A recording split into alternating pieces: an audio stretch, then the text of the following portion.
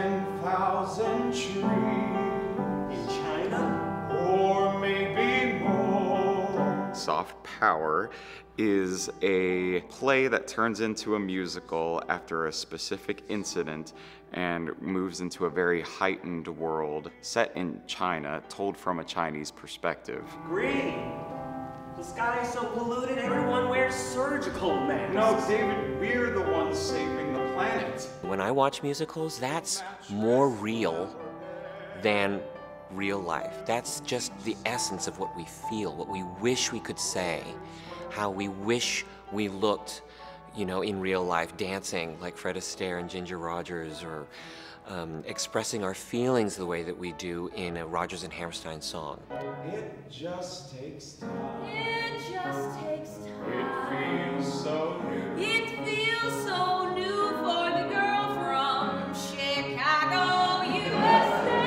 I'm extremely grateful to be working with Conrad. It's not every day that the person you're falling in love with you actually truly love, appreciate, and respect off stage.